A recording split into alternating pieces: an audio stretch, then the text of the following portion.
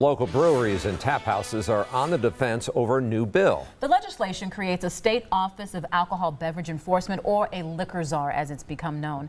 And many are afraid that this will change the way business is done. Tom Durian spoke with a local tap owner or tap room owner who's concerned about this potential new position. Yeah, guys, it's not the first time we've heard about this. Uh, we talked about it. A similar proposal was snuck into the budget negotiations last June, but it didn't get any votes. So now, after a fresh rewrite, it is back.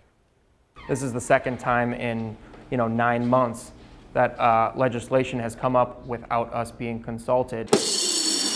Our biggest fear is the uncertainty of what, what it would bring. Jackson Borgardt co-owns Eagle Park Brewery with his business partner Jake and brother Max. While Max was in Madison testifying before the committee on Senate Bill 801, Jackson was telling us why they're opposed to it. We're planning on creating at least 15 jobs in this next year could they be at risk? Could we be at risk of, of, of, you know, losing all that? Work on their new space is already underway, and they think the new bill calling for an Office of Alcohol Beverage Enforcement puts everything in jeopardy. This person would have ultimate authority, answering only to the governor, um, to decide how to interpret laws, create laws, and enforce them. A similar bill last June called for manufacturers like Eagle Park to be prohibited from selling their own product.